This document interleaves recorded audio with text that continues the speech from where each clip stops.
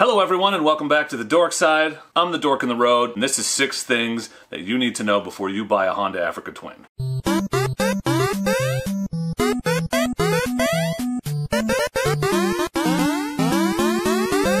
I'm the dork in the road and I want to be your internet riding buddy, so please consider subscribing. I have owned my 2016 Honda Africa Twin for over a year now. I've taken it on long trips on the highway, moto camping trips, ridden on and off road a ton. I feel like I have a pretty good sense of the bike now, I've put a few thousand miles on it, and I wanted to kind of share my thoughts and feelings about what it's like to own an Africa Twin for those of you who might be shopping for or considering picking one up yourself. You can learn a lot about the bike from the spec sheet and the, and the website and even videos you can watch here on YouTube. I have a whole playlist worth checking out if you're interested. The purpose of this video is to kind of give you an impression of what the experience of owning the Africa Twin over time is like and the little things that you pick up on over time that you might not notice or experience on a test ride. One pretty important caveat before I jump in is I own a 2016 Honda Africa Twin that is a first gen AT. There have been some changes to the newer models, so just know my experience is based primarily on the 2016, the first gen, but most of what I say will be broadly applicable to all the Honda Africa Twins. So the first thing to know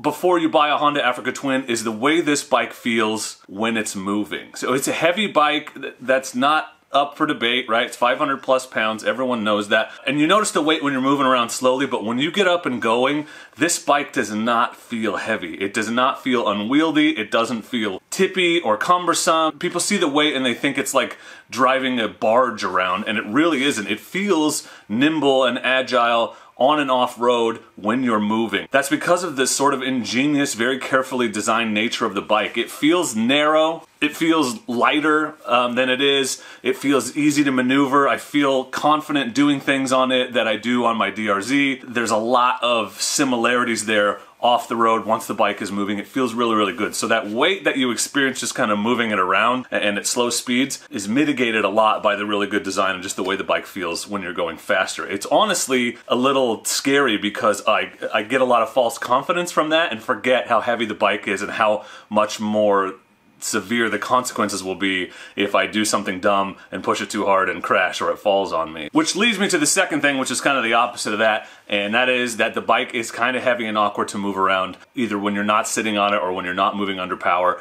To push and move around, maneuver, even in the driveway, like I can't push it up my driveway. I can. I can barely push it up my driveway with the key off. I have to turn it on and use the motor to get it even up the driveway. So if you're like stopped at all in an awkward situation with uneven ground and you gotta move it around, back and forth. If you're bad at slow speed riding like me and you you end up just pushing your bike around a lot, it's really kind of awkward and unwieldy. That is when you feel the weight. You don't feel it when you're riding, but you do feel it when you're pushing, maneuvering it around. I almost dropped it just the other day trying to turn around in a tight sort of gravelly area. You will feel that extra weight and top heaviness and once it starts to tip you really feel it a lot more than a lighter bike. It is 100% possible that that's just a me thing because I spend so much time worrying about dropping it at those slow speeds that it probably makes me more awkward when I actually move it around where if I just you know, I don't know, learn to ride at slow speeds and turn around in tighter spaces, this fear would go away. So if you're a better rider than me, this may not matter at all. Third thing to know about the Africa Twin is one of my least favorite things about this bike, and that is the stock kickstand. The stock kickstand, I don't know why. Honda is exceptionally good at building motorcycles that are top to bottom awesome, but the stock kickstand on the Honda Africa Twin feels like it's made from Swiss cheese. The thing is flexible and bendy. It's a super common complaint that people have. Duckfan just bought an Africa Twin. It was the first thing he replaced even on his 2018. So that stock kickstand is freaking weird, bendy. I never felt confident standing on the peg and swinging my leg over on that stock kickstand and I've since replaced it with the Camel ADV version. Another sort of similar similar, call this one 3A, is that windshield bracket. There's a bracket that the windshield mounts to, and it's right in front of you, right? So a lot of people use that to mount obviously their cell phone or their GPS, but apparently there's a design flaw where if you put weight on that bracket and go over uneven terrain, which you know you do on an adventure bike, it can snap the welds off down inside the fairing and it's a real pain in the ass to replace it. So Camel ADV also makes a brace for that and I just ended up buying it because I mounted my big Zumo GPS up there. Those two things suck, the kickstand and the this persistent issue with the with the very not strong windshield bracket, but you can also mitigate those two issues by picking up these aftermarket parts because Camel ADV wisely saw those issues and created products to solve them. So I have both on my bike and I would recommend them both. Fourth thing to know before you buy a Honda Africa Twin, and this is not something I've ever said about a motorcycle. If you've seen any of my other love-hate videos, you know this to be true, but the stock seat is comfortable. It is the first motorcycle I've ever owned that I haven't entertained the thought of replacing with a seat concept seat. And I've put hours in at a time on this thing, on and off the road, up and down. I like the stock seat a lot. It's not super soft, which is good. It's firm enough that it, you know, cradles your buttocks and supports them in a way that is comfortable for long periods of time. So really impressed with the stock seat. I like it a lot that's not something I say about a lot of motorcycles. It's usually one of the first things I complain about personally.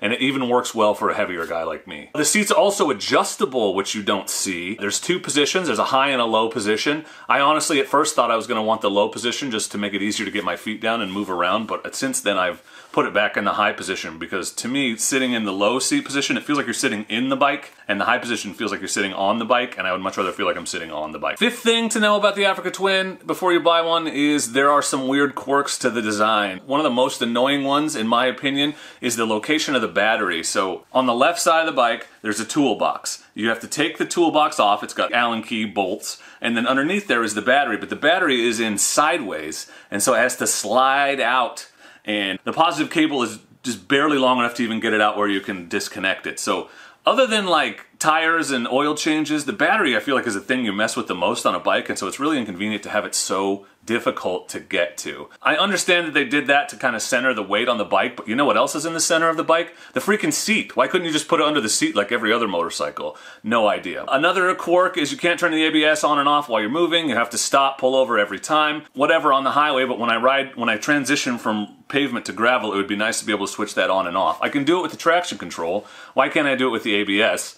Super weird. And the other annoying thing is when you switch off your ABS and your traction control, and then you get off the bike to take a picture or whatever, if you shut that key off and turn it back on, it doesn't remember what your settings were. So you gotta go through and reset all of those things every time, which doesn't sound like that big of a deal, except I forget every time, and so I get on, ride 50 feet, have to stop again, turn it off again. It's annoying that there's no option to have it just remember those things when I'm riding off-road. I get that maybe it's a safety thing, they don't want people turning it off and forgetting and hitting back on the road and getting into accidents, but I'm not gonna forget that. The second I hit pavement, I want that stuff back on, so I turn it back on. It's really frustrating that it can't just remember or save it. This is a really common complaint about the Africa Twin. Speaking of weird quirks of the design, it's, and it's weird to say this about a Honda, but there are a few issues, particular issues about this first gen that you should know about. The spoke corrosion, apparently there's aluminum and steel coming together that causes corrosion. That's a pretty common issue. And the forks, they wear out quickly. There's a, some kind of quirky thing with the forks. So it's just two things you have to keep an eye on. And then recently the Africa Twin Adventure Sports had that tank issue.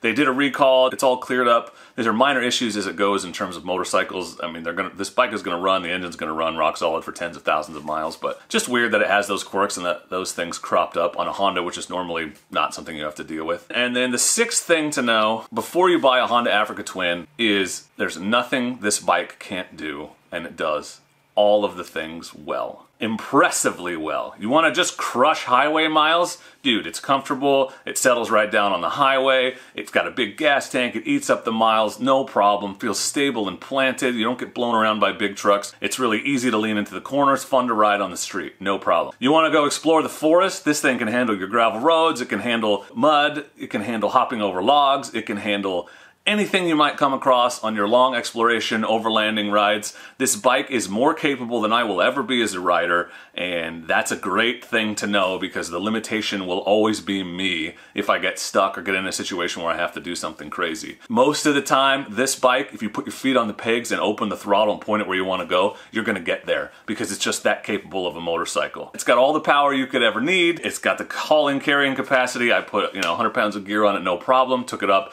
rode in the woods, and a spirited ride to get to a secluded campsite. It can do all of that. It's a great moto camping bike, great long tripping bike, great BDR, road tripping, touring bike. It's, it's great on the road, but isn't limited if you're like, I want to take that gravel road and see where it goes. You totally can. It's a great thing about it. The bike can handle tight technical terrain, not with me on it as a rider, I'm not that good, but plenty of videos of people taking it on super technical stuff, jumping it over logs and all kinds of that stuff. It's got all the power you need, very capable. I've said capable 400 times, but it's a very, very capable bike, very confidence inspiring. I don't worry about the capability of the bike. I don't worry, can my Africa Twin get over, through, or around that thing.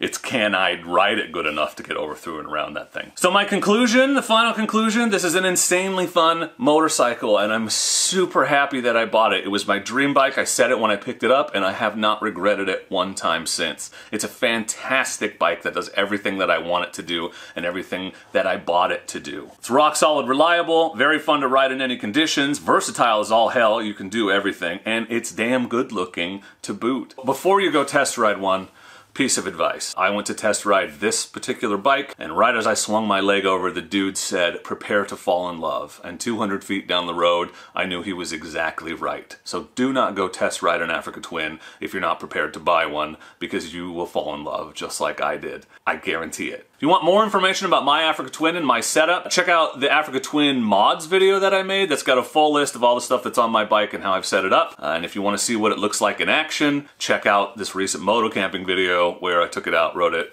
camped. It was awesome. If you learned something or got some useful information or this helped you along your journey towards buying an Africa Twin, maybe think about hitting that like button. That really helps me out a lot. But for now and as always, I just want to say thank you very much for watching and please do not forget to be excellent to each other. Thank you. Excellent!